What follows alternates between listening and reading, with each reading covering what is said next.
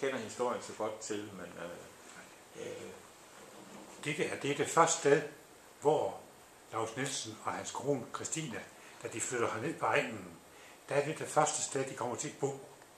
Og det er et sted, hvor de bliver bestyrer af den lille ejendom der, og samtidig skal være bestyrerpar på den mose, der ligger der omkring, hvor konsortiet, som ejede det, vil drive en industriproduktion. Fjorden Tersie, som var en forpakning, som øh, Lars Nielsen havde på cirka 200 tønder land. Og øh, det var også der, han begyndte at, at praktisere.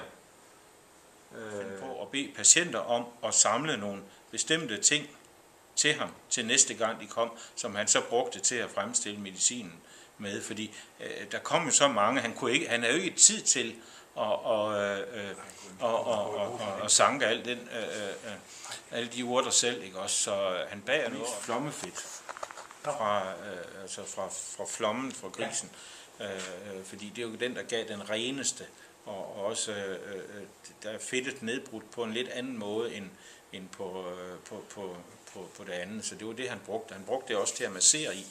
Brugte han også svinefedt, hvor vi i dag bruger olie, paraffinolie. Det er så Tversigehuset, som, øh, hvor, hvor Lars Nielsen jo øh, praktiserede de fleste af hans år.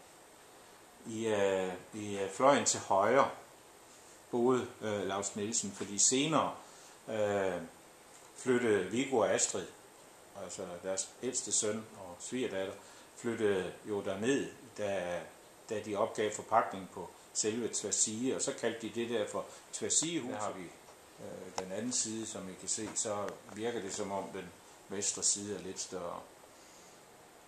Men han havde jo også et rum, hvor han brugte som konsultationsrum. Det er en ordentlig buket, han har i reverset der. Ja, og der skal vi nok lige have, have dig til at supplere dem der, fordi det er til en, til en fest, som jeg, øh, det er, er nogle billeder, som jeg ikke øh, kender dem der. Nej, men det var byens cykelhandler, Ja. der boede inde i Vestergade. De havde sølvbryllup. Og til sådan noget, der blev selvfølgelig inviteret en masse mennesker. Og øh, de to der var også inviteret med. Billeder fra deres øh, diamantbryllup øh, havde de jo også, hvor de jo også fik, jeg ved ikke hvor mange øh, telegrammer. Dengang der kaldte man, der talte man jo telegrammer. Ja.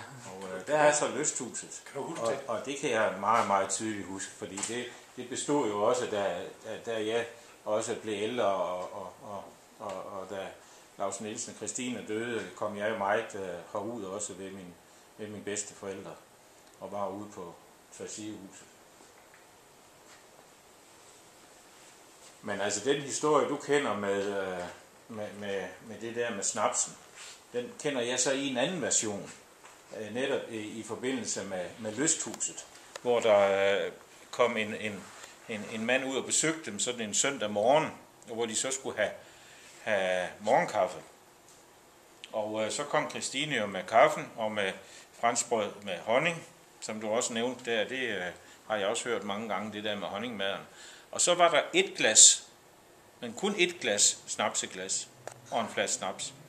Og så skænkede han til sig selv, og så tog han den på fastende hjerte, og så siger han til den anden, jeg kan jo ikke byde dig en snaps, for jeg er afholdsmand. Og det mente han meget alvorligt. Ja, vi griner lidt af det i dag, men han mente det alvorligt, fordi han tog den som medicin. Og hvis han bød den anden, så ville det være for nydelsens skyld.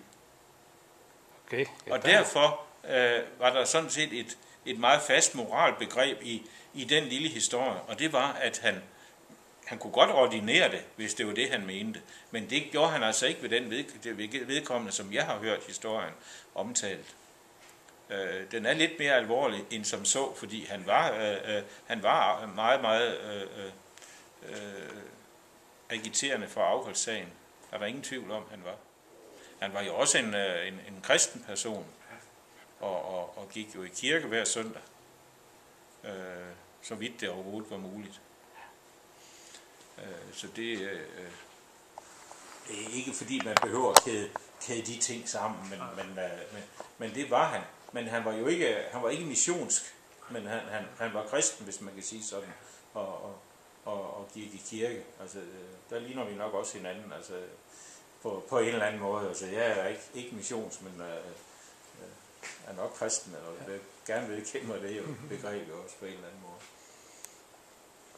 Og det har vi så Lars Nielsen på hans øh, 80-års fødselsdag, hvor han modtog cirka 800 telegrammer, plus diverse blomster. Et kæmpe blomsterhav var der dengang.